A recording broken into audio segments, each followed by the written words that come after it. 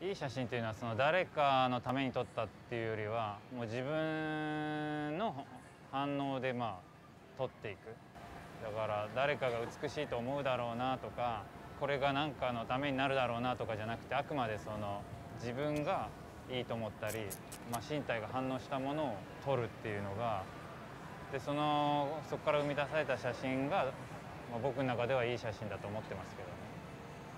やっぱ生きてる限りいろんなものにこう反応するし生きてる限りずっと撮れるんじゃないかなと思ってて、まあ、世の中に関心がなくなったら撮れなくなっちゃうかもしれないですけどやっぱり世界のことをもっと知りたい身の回りの場所のことをもっとこう知りたいっていう気持ちが強いんで今のところずっとシャッターを切れてますけどね。